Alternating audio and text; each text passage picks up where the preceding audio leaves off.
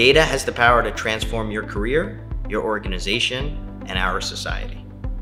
Change lives. Change lives. Change lives. We love data because it has the power and the potential to help us help people tell the stories that need to be told in order to come to the right conclusions. To drive value. Make history and change the world. She's gonna say save lives. I, cause she keeps telling people I'm saving lives. I'm like, I'll save lives when I'm a doctor, but I'll guide decisions that help other people save lives now. Change the world.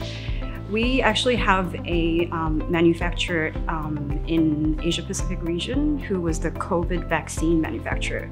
They use Minitab statistical software to improve the quality of the actual uh, vaccine. So, you know, we really do have the potential to change the world and, you know, make the world a better place.